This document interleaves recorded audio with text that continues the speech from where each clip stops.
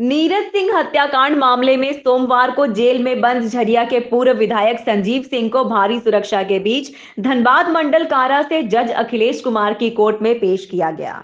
संजीव सिंह के वकील मोहम्मद जावेद ने मीडिया को बताया कि नीरज सिंह हत्याकांड मामले में कई महीनों से ऑनलाइन सुनवाई चल रही थी। ऑनलाइन के दौरान वकील की डिस्कस नहीं हो पा रही थी, जिसकी वजह से आज सशरीर उपस्थित होने की तारीख मुकर्र की गई थी।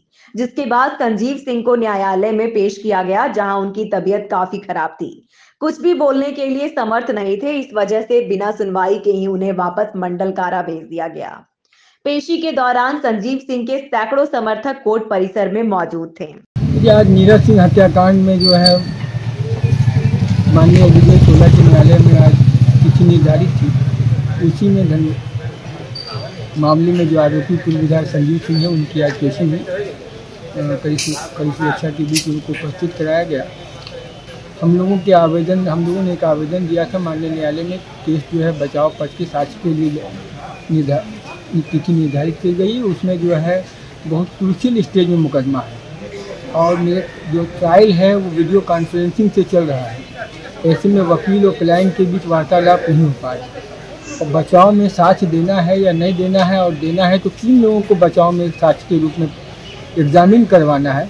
इन चीज़ों का डिस्कशन बहुत इम्पोर्टेंट है अपने क्लाइंट के साथ। और क्योंकि बीची से ट्रायल चल रहा है डिस्कस हो नहीं पा रहा है कंसल्ट हो नहीं पा रही क्लाइंट से। तो ऐसे में हम लोगों ने अनुरोध किया था माननीय न्यायालय से। माननीय न्यायालय ने उस हम लोगों के अनुरोध को स्वीकार करते हुए दिल अथॉरिटी को डायरेक्शन दिया था कि आज न्यायालय में प्रस्तुत किया जाए ताकि अभियुक्त और क्लाइंट के बीच अभियुक्त और एडवोकेट के बीच जो है कंसल्ट हो पाए डिस्कस हो पाए।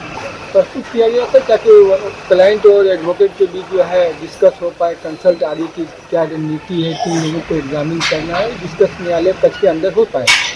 मगर बड़ा विडम्बना है कि आज उनका स्वास्थ्य ठीक नहीं था और वो पूरी तरह से बीमार थे और पूरी मेंटली और फिजिकली पूरी तरह से फिट नहीं होने के कारण जो है हम लोगों से बातचीत, वार्तालाप नहीं हो पाई डिस्कस नहीं हो पाया केस को लेके।